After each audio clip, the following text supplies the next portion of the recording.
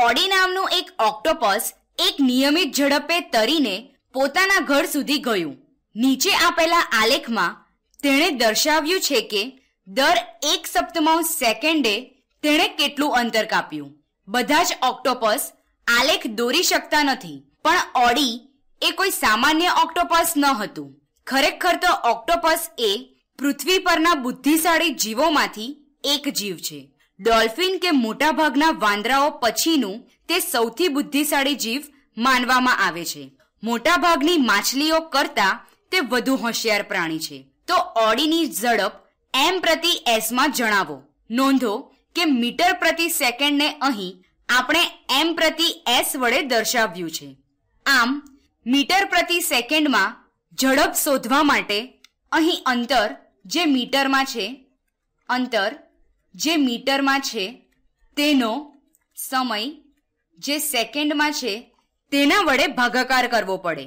તો આપણે જોઈએ કે આપણે તે કરી શકીએ કે નહીં. તો સૌપ્રથમ આપણે એવું બિંદુ શોધીએ કે જેનું આલેખમાંથી વાંચન કરીને સરળતાથી જાણી શકાય કે ઓડીએ કેટલું અંતર કાપ્યું. તે માટે સૌપ્રથમ એવું બિંદુ શોધીએ કે જેનું આલેખમાંથી વાંચન કરીને સરળતાથી જાણી શકાય કે ઓળીએ કેટલું અંતર કાપ્યું?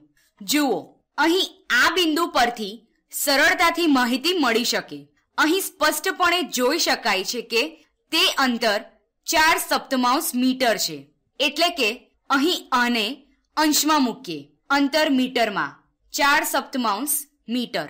અને ત્યાં સુધી તેને પહોંચવા માટે પાંચ સપ્તમાંશ સેકન્ડ જેટલો સમય લાગે છે. એટલે કે ચાર સપ્તમાંશ મીટરના છેદમાં પાંચ સપ્તમાંશ સેકન્ડ.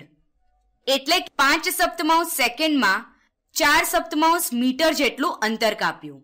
હવે અહીં ચાર સપ્તમાંશનો પાંચ સપ્તમાંશ વડે ભાગાકાર કરવાનો છે, જેનો આપણને જવાબ મીટર પ્રતિ સેકન્ડમાં મળશે. તો આને આ પ્રમાણે પણ લખી શકાય.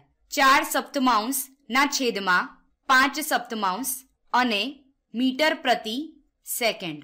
અને હવે ચાર સપ્તમાંશ ભાગ્ય, પાંચ સપ્તમાંશ એ, ચાર સપ્તમાંશ ગુણ્યા, સાત પંચમાંશ બરાબર જ થશે.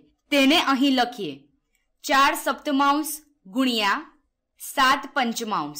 અપૂર્ણાંક સાથે ભાગાકાર કરવાનો અર્થ એ છે કે તેનો વ્યસ્ત સાથે તેનો ગુણાકાર કરવો. એટલે કે સાત પંચમાંશ ગુણ્યા. એટલે કે ગુણ્યા સાત પંચમાંશ.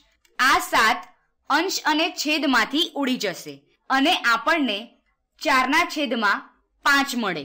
અહીં અંશ અને છેદને સાત સાથે ગુણીને પણ તે મેળવી શકાય. અહીં જો આ બંનેને સાત વડે ગુણીએ, તો અહીં આપણને ચારના છેદમાં પાંચ મળે. કોઈ પણ રીતે મીટર પ્રતિ સેકન્ડમાં તેની ઝડપ ચાર પંચમાંશ મીટર પ્રતિ સેકન્ડ મળશે.